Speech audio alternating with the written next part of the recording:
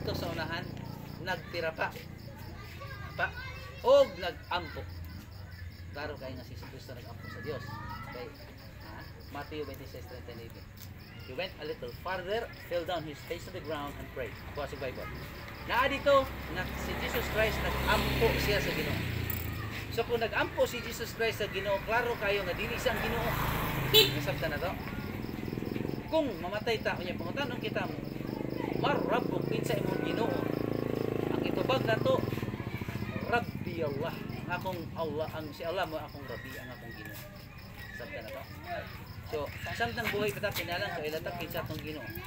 So kaduna tay mga further question about Allah, who is the Allah. Pwede mo makapangutana sa tuwa ug amo tang ato paningkamutan nga matubag nato in the light of the revelation of God given revealed in the Holy Quran. Okay? So, kinsa ang Ginoo si Allah. Allah.